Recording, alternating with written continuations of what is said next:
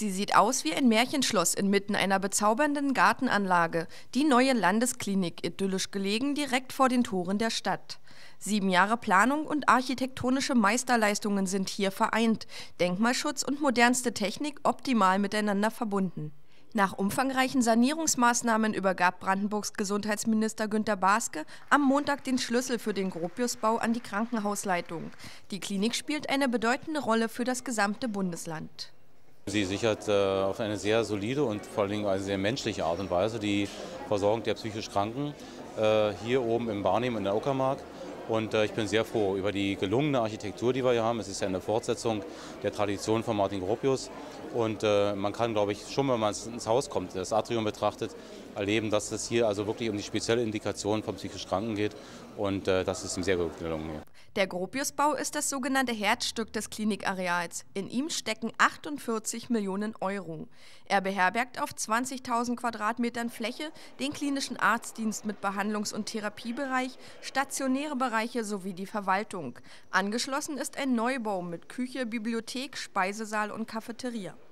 Wir können hier in dem äh, Neubau für unsere Patienten weitaus bessere und modernere Behandlungsmöglichkeiten anbieten. Dafür sprechen zum Beispiel die Patientenzimmer. Wir haben maximal drei Bettzimmer, ein bis zwei Bettzimmer sind die Regel. Wir haben an den Zimmern Sanitärzellen dran und das ist uns in dem jetzigen Gelände nicht vergönnt gewesen, weil der Raumbedarf äußerst begrenzt war. Für die Mitarbeiter sind die Arbeitsbedingungen besser geworden und das ist ein ganz erheblicher Fortschritt im Vergleich zu früher.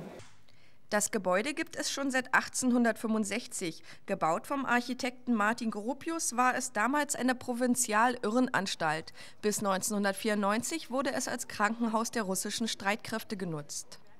Auch für heutige Begriffe hat Gropius mit seinen lichtdurchfluteten Gebäuden geradezu ideale Voraussetzungen für die Versorgung psychisch Kranker geschaffen. Ausgedehnte Wege und Aufenthaltszonen, breite Flure und helle geräumige Krankenzimmer. Hier sind nicht nur räumliche Qualität, sondern auch hervorragende Bedingungen für die medizinische Arbeit gegeben.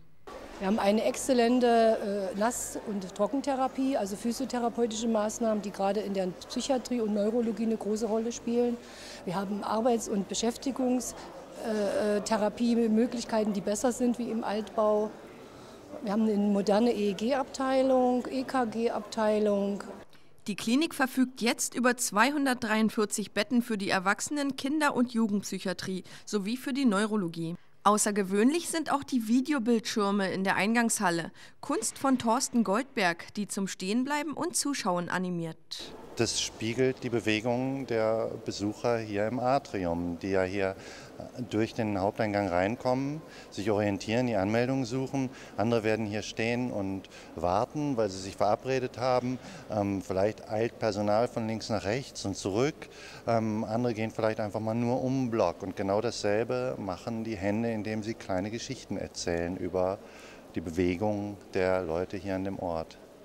Gesundheitsminister Baske war sichtlich beeindruckt von diesem architektonischen Bauwerk, insbesondere darüber, dass sich äh, viele, also vom Denkmalschutz angefangen, über die Bauverwaltung, über den Landkreis, dass sich viele der Traditionen von Martin Gropius verpflichtet fühlten, dass niemand über die Stränge geschlagen ist und versucht hat, hier seinen Hardliner-Kurs durchzuziehen. Nicht der Denkmalschutz und auch nicht die, die also hier ein Krankenhaus bauen wollten, sondern dass es ein guter Kompromiss geworden ist hier am Standort und dass der tatsächlich auch für die Zukunft trägt, wenigstens wieder für die nächsten 140 Jahre.